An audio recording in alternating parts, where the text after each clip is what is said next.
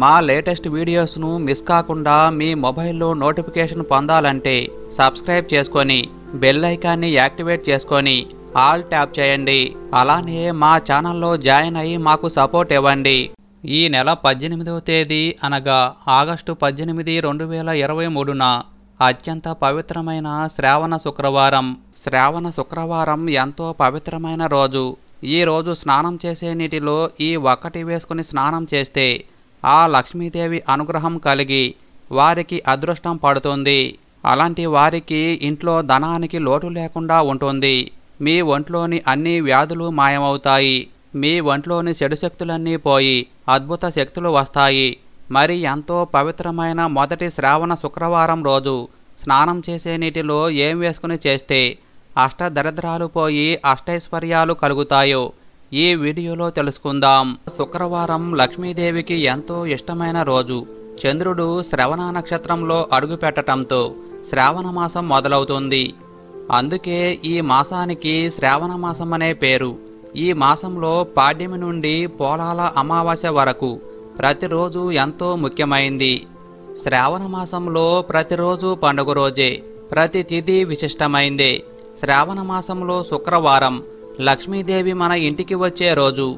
లక్ష్మీదేవి స్థిరంగా మన ఇంట్లో ఉండాలంటే అమ్మవారికి ఇష్టమైన శ్రావణ మాసంలో లక్ష్మీదేవిని భక్తి శ్రద్ధలతో పూజించాలి. ఒకసారి లక్ష్మీదేవిని శ్రీకృష్ణుని సతి అయిన రుక్మిణీదేవి నీవు ఎటువంటి ఇంట్లో నివసిస్తావు అని అడుగుతుంది. దానికి లక్ష్మీదేవి ఇలా చెప్తుంది.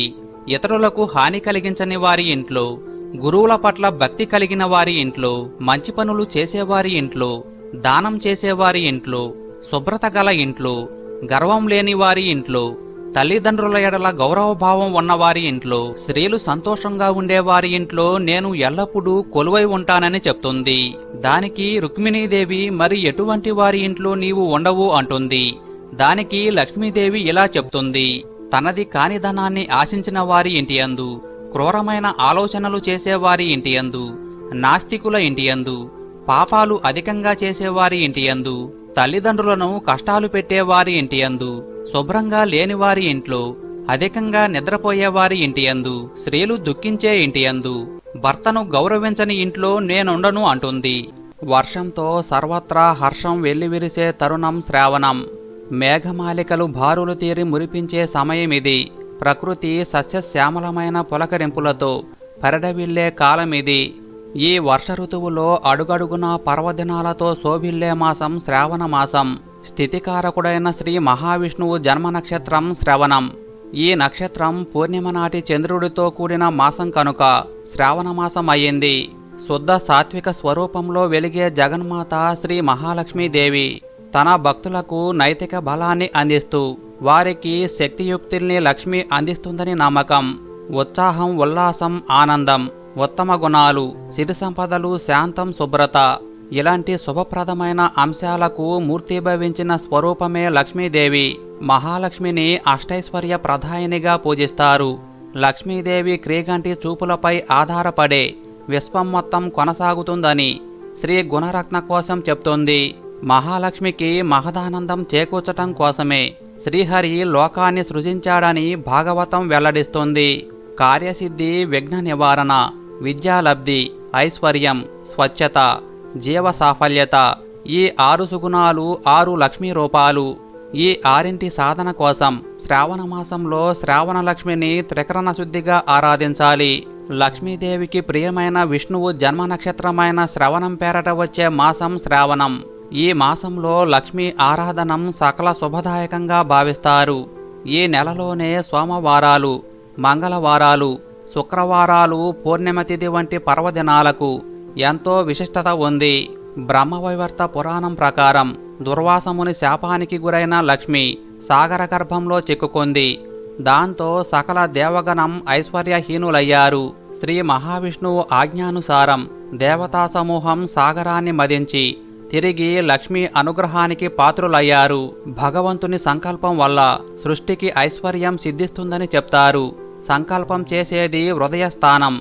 విష్ణువు హృదయంలో కొలువుదీరి ఉండే అమృతవల్లి మహాలక్ష్మి. కాబట్టి ఆమె సకల కార్యాలకు సంకల్ప శక్తి ఆమె ఎల్ల లోకాలకు ఏకైక దీపం. ఈ మూడు లోకాలు ఆమె కుటుంబం. సకల జీవరాశులు ఆమె సంతానం. ఆరోగ్యం ఆనందం ఆహ్లాదం ఎక్కడ ఉంటే అక్కడ లక్ష్మీదేవి సుప్రసన్నమవుతుందంటారు.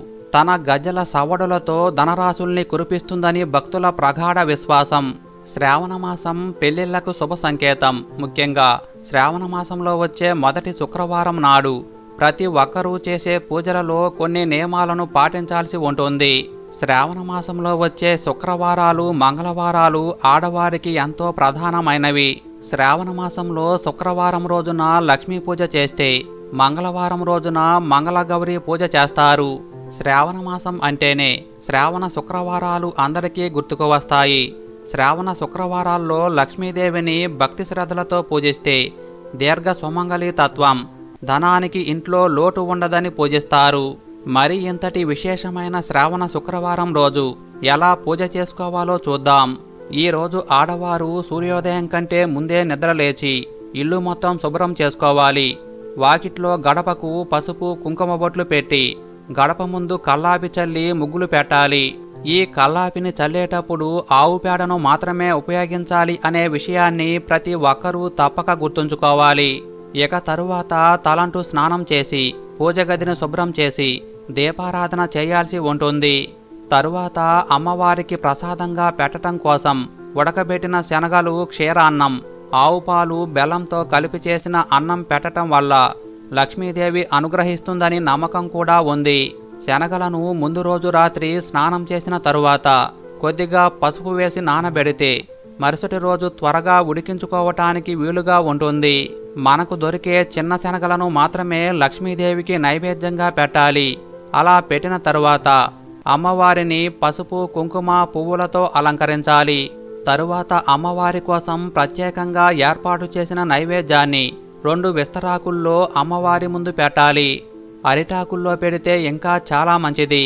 ముఖ్యంగా పూజ చేసే ఆడవాళ్ళు ఎరుపు లేదా పసుపు లేదా ఆకుపచ్చ రంగు కలిగిన చీరను ధరించి ముఖానికి కాళ్ళకు చేతులకు కూడా పసుపు పూసుకొని కుంకుమ బొట్టు పెట్టుకున్న తరువాత లక్ష్మీదేవికి పూజ చేస్తే ఆమె త్వరగా ప్రసన్నమవుతుంది.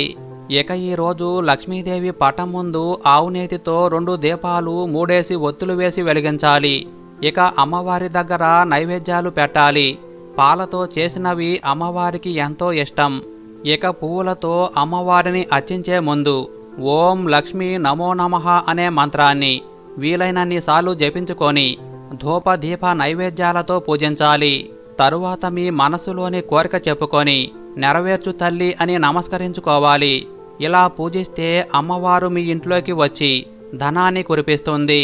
మొదటి శుక్రవారంతో పాటు మిగతా మూడు శుక్రవారాలలో కూడా పూజ ఇలానే చేయటం వల్ల లక్ష్మీ అమ్మవారు ప్రసన్నం చెంది ఆమె కరుణా కటాక్షాలను మన కుటుంబంపై ఉంచుతుంది.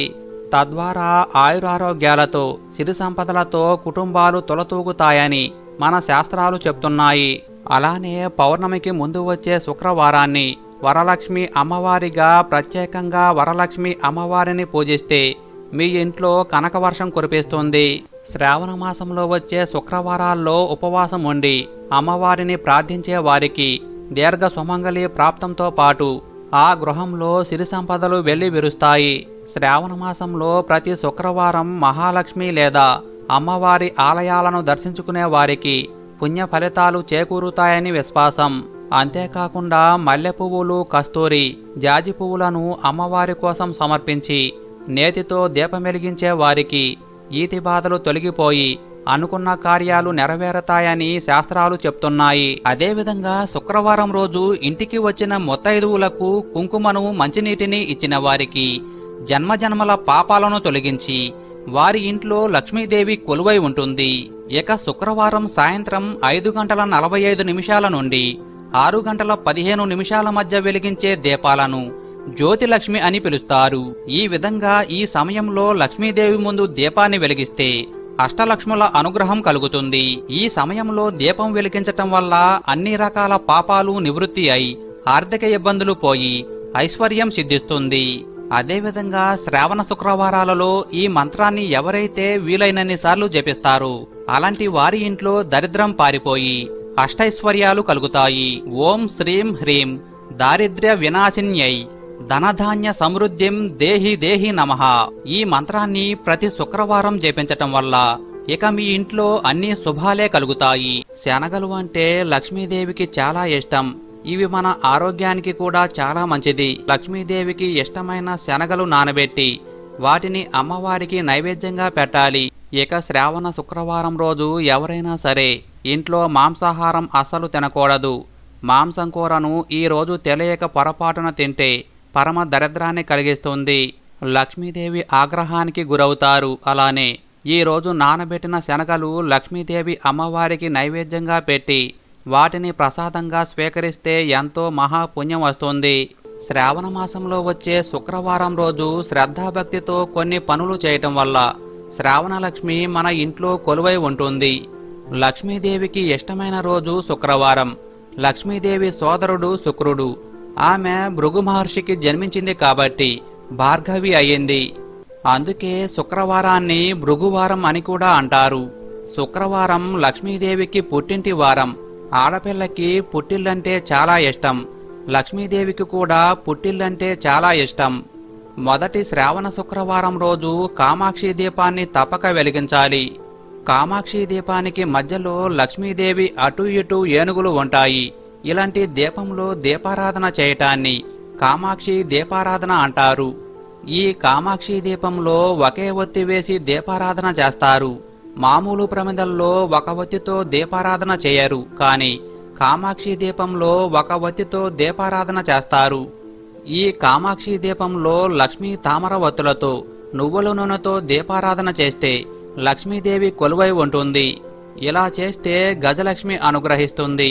ఇలా శ్రావణ శుక్రవారం రోజు చేస్తే అష్టైశ్వర్యాలు భోగభాగ్యాలు కలుగుతాయి.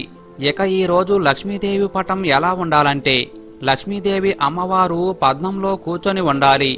పచ్చని రంగు చీర కాని ఎరుపు రంగు చీరను కాని కట్టుకొని ఉండాలి. అమ్మవారికి అటు ఇటు ఏనుగులు ఉండాలి. ఈ రోజు అమ్మవారిని మారేడు దళాలతో పూజిస్తే చాలా మంచిది. ఇక వరలక్ష్మి వ్రతం రోజు. వరలక్ష్మి వ్రతం పూజ చేసుకోలేని వారు. ఈ మాసములో వచ్చే ఏ శుక్రవారం రోజైనా ఈ పూజ చేసుకోవచ్చు.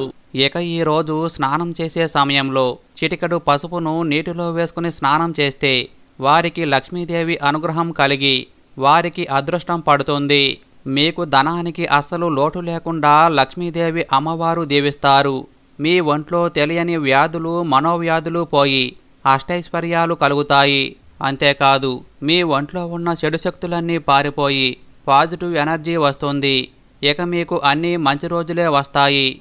అలానే శ్రావణ మాసంలో ప్రతి శుక్రవారం రోజు స్నానం చేసే సమయంలో ఇప్పుడు మేం చెప్పే విధంగా చేస్తే ఇంకా చాలా మంచిది. అదేంటంటే ఇక శ్రావణ మాసంలో ప్రతి శుక్రవారం ఇలా చేస్తే మీ ఇంట్లో లక్ష్మీదేవి శాశ్వతంగా స్థిర నివాసం ఏర్పరచుకొని అష్టైశ్వర్యాలు కురిపిస్తుంది. ఏం చెయ్యాలంటే ప్రతి శుక్రవారం స్నానం చేసే నీటిలో ఓం శ్రీం నమః అనే లక్ష్మీ బీజాక్షర మంత్రమును మీ వేలితో లేదా తమలపాకుతో రాసి ఆ నీటితో స్నానం చేయాలి ఇలా శ్రావణ శుక్రవారాల్లో చేస్తే మీ ఇంట్లో అష్టైశ్వర్యాలు కలుగుతాయి. దరిద్ర బాధలన్నీ పోయి సకల శుభాలు కలుగుతాయి. ఇక శ్రావణ మాసంలో లేదా శ్రావణ శుక్రవారాల్లో ఇలాంటి పనులు అస్సలు చేయకూడదు. అలా చేస్తే దరిద్రాన్ని కలిగిస్తుంది. పరిగెత్తే వారికి తలస్నానం చేస్తున్న వారికి నమస్కరించకూడదు. భార్య గర్భవతిగా ఉన్నప్పుడు నదీ స్నానము సముద్ర స్నానము క్షౌరము పర్వతారోహణము చేయరాదు. స్త్రీలను కాటుక ధరించేటప్పుడు అసలు చూడకూడదు. ఉదయించేటప్పుడు అస్తమించేటప్పుడు సూర్యుణ్ణి నీళ్ళల్లోనూ అద్దంలోనూ చూడరాదు. అలానే తన నీడను నీటిలో చూసుకోకూడదు. రాత్రివేళ చెట్ల ఆకులు కొయ్యకూడదు తలకు శరీరానికి నూనె రాసుకొని మలమూత్ర విసర్జనకు వెళ్ళరాదు. భోజనం చేస్తున్నప్పుడు ఆవలిస్తున్నప్పుడు తుమ్ముతున్నప్పుడు భార్యని చూడరాదు. చతుర్దశి నాడు పాలు త్రాగరాదు. అమావాస్య నాడు స్త్రీ పురుషులు కలవరాదు. మొలతాడు లేకుండా మగవారు బయటకు రాకూడదు. గుమ్మడికాయను స్త్రీలు ఎలా పగలగొట్టరాదు? అలానే దీపాన్ని పురుషుడు ఆర్పరాదు. నీళ్ళు త్రాగే జంతువులని పాలు తాగుతున్న ఆవుతోడను అదిలించకూడదు. ఇలాంటి పనులు అస్సలు చేయకూడదు. పరిశుద్ధ హృదయమే లక్ష్మీదేవికి పుట్టిల్లు. ఎక్కడైతే భక్తి ఉంటుందో ఎక్కడైతే పశువు పచ్చని పూలు ఉంటాయో పెద్దలు గురువులు ఎక్కడైతే పూజలందుకుంటారు అక్కడ లక్ష్మీదేవి స్థిర నివాసం ఉంటుంది. ప్రతిరోజు సూర్యుడు ఉదయించే సమయాన్ని చూసేవారికి లక్ష్మీ కటాక్షం తప్పక ఉంటుంది. సూర్యుడు అస్తమించే వేళ నిద్రించేవారు ఆమెకు నచ్చరు. ఇంటి ముందు ముగ్గులు పసుపు కుంకుమలద్దిన గడప నిత్య పూజలు తోరణాలు ఉన్న చోట లక్ష్మీదేవి స్వాగత సత్కారాల్ని ఎల్లవేళలా అందుకుంటుంది. తల్లిదండ్రులను పూజించే చోట మంచి ముత్యాలున్న చోట తెల్లని వస్త్రాలతో పరిశుభ్రంగా మనుషులు తిరిగే ప్రదేశాల్లో పాత్రల నిండా నీళ్ళు పువ్వులు ఉన్న చోట. వెండి వస్తువులు చందనం. వెండి గిన్నెలలో పాలు పెరుగు మజ్జిగలు ఉన్న ఇంట్లో లక్ష్మీ నివాసం ఉంటుంది. నలుగు పిండితో స్నానం చేసే స్త్రీలున్న ఇల్లు వడపప్పు ప్రసాదంగా పెట్టే ప్రదేశం శాంత స్వరూపులు. ఎప్పుడూ నవ్వుతూ ఉండే వారుండే ప్రదేశాలు. బద్ధకం అశ్లీలత హింసా ప్రవృత్తులు లేని చోట ఆమెకు ప్రియమైన ప్రదేశాలు. అలానే కల్మషం లేని హృదయంలో లక్ష్మి శాశ్వతంగా నివసిస్తుందని శాస్త్రవచనం. నిత్య సంతోషులు ఆమెకు అత్యంత ప్రియులవుతారు. కాబట్టి శ్రావణ మాసంలో మరియు శ్రావణ శుక్రవారాల్లో ఇలాంటి విధి విధానాలు పాటించి ఆ లక్ష్మీ అమ్మవారి కరుణా కటాక్షాలు పొంది సకల ఐశ్వర్యాలు పొందండి.